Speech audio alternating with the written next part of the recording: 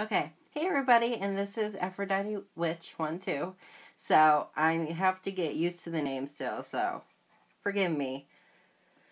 But, so the lighting in here changed because I just turned my makeup table lamp on. So, okay.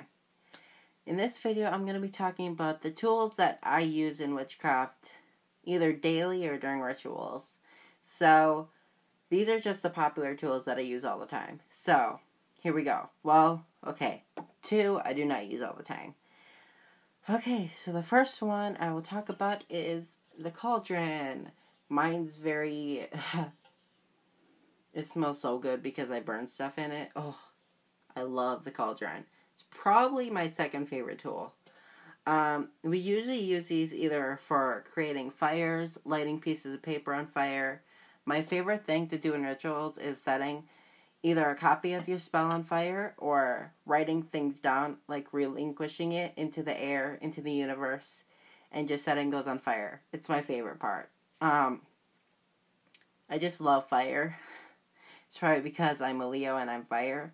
Um, but this is mainly what I use that for. If I'm going to be lighting incense, I either use my mortar and pestle because it's stone and it holds heat really well or my other cauldron that's um it's actually like hidden away somewhere. I think it's in my cabinet, but I do not want to go out of my video and get that right now.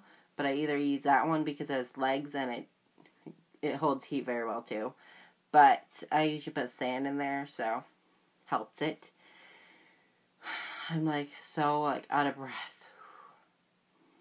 Okay, so those are two tools, and this one I didn't even tell you all about. Um, but oh, I thought the price was gonna be still on it. But I got this modern pestle from my co-op in La Crosse, so it only cost me like thirty dollars.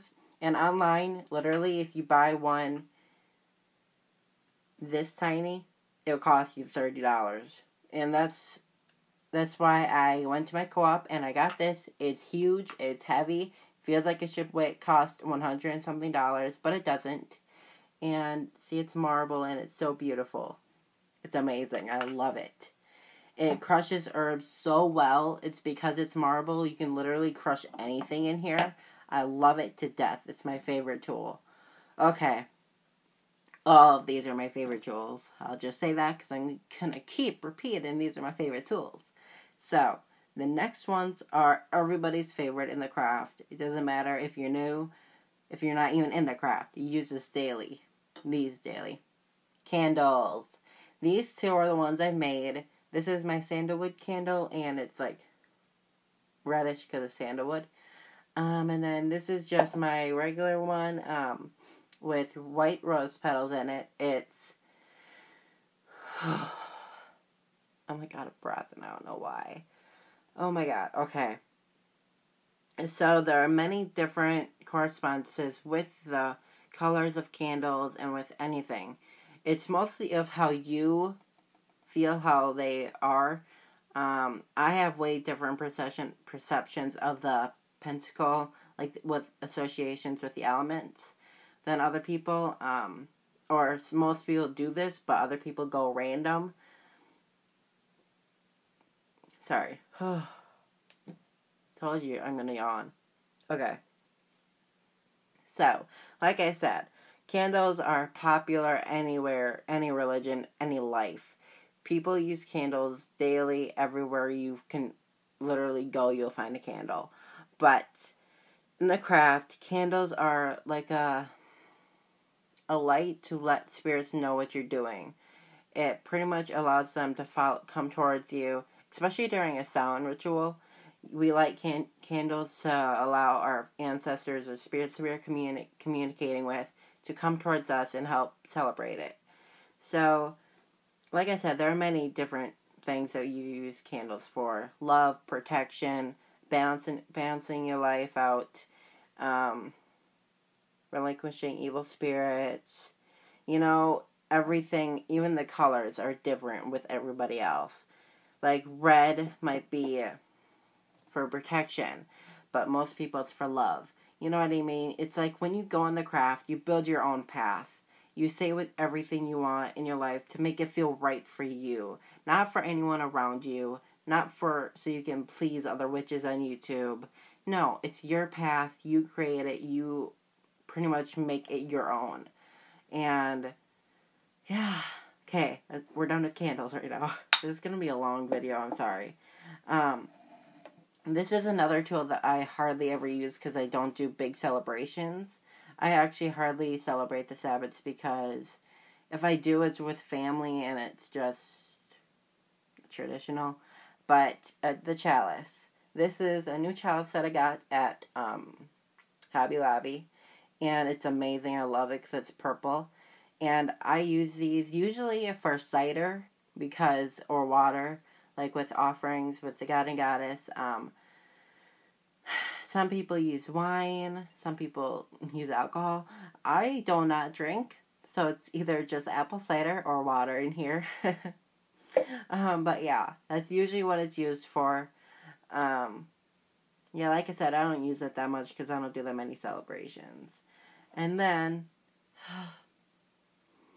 this is my weed. okay, it's not really my weed. Okay, it's incense. This is you'll probably find every witch you know using incense because it's so it magnifies the ritual like a whole bunch. So with the smell, it pretty much brings the ritual to life. It's like if you weren't lighting an incense and you were doing a spell or even meditating, it literally brings your uh, mental state up and you can focus better. It depending on the incense. My favorite incense of all time is sandalwood. Um, I actually don't have any right now because I don't have enough money to go to. Okay, I have enough money, but it's too far away. I don't have witchy shops with me, and I don't have any money. I'm not going to explain myself in this video. Let's just get to the tools. So, yes, incense. There we go. Okay, here's another one. This is one of my goddesses, Bast, and she's the feline goddess, and this is my favorite goddess, other than Aphrodite, of course. Um, but I pray to her all the time. I got into Bast because of Prue. Having Prue in my life has changed my path so much. It actually got me into the path. I'm oh, I wonder if Prue's the actual person that got me into the craft. You know, like think extra push. Um, you never know. Okay, moving on. Oh my god, I didn't even explain what these five. Okay.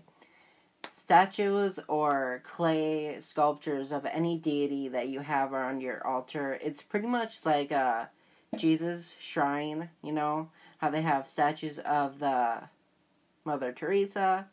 I don't know. I'm not Christian and I don't know anything about them except for the hatred towards witches. That's the only thing I know. And you know, you just use it to worship and have something like you can see and they're right there and you can just like talk to them. Like I always talk to Bast It's crazy. But it's pretty much just something that you can help communicate with and visualize better. And now on to the altar bell.